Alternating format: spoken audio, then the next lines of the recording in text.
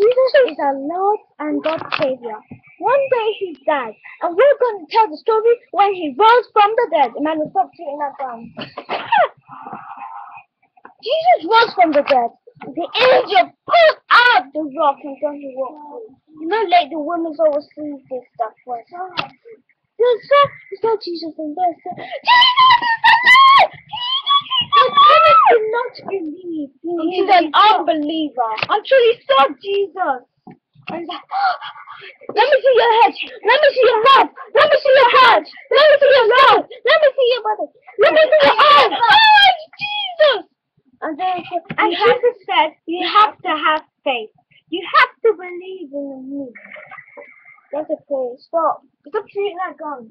You have to pray. So the moral of this story so far is you have to believe. Yeah. And then Jesus said to Peter, I know you I know you you you um you said that I I'm not you don't know me. I forgive you as you prayed about it.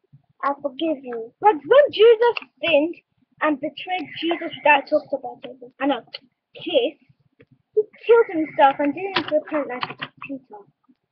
Yeah, he probably went down there. Society. Bye. Maybe we might do another comedy show tomorrow. Bye. Praise the Lord. Hallelujah.